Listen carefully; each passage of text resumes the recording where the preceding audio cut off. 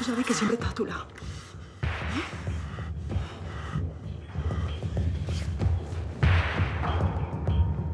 Pues cuando Lucas y Pilar hacen el amor, la verdad que es un...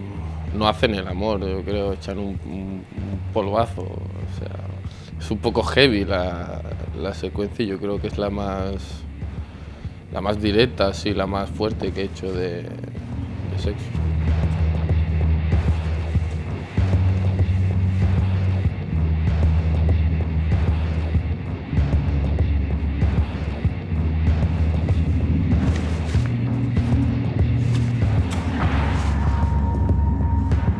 Pues hombre, para Pilar es el sueño de su vida, quiero decir, o sea, hay que pensar que es que ella lleva toda la vida, o sea, conoce a Lucas desde que es una cría y lleva toda la vida queriendo estar con él y, nunca ha podido estar con él, siempre ha estado con Ainhoa, ha pasado de ella, entonces de repente se encuentra con una situación que es el sueño de su vida que dice, o sea, no me lo puedo creer, este es mi momento. Entonces, claro, para Pilar es amor puro y duro, para Lucas no, pero para ella sí. Entonces, claro, esa escena es muy bonita por eso, ¿no? Porque se ven eh, las necesidades de cada uno al final.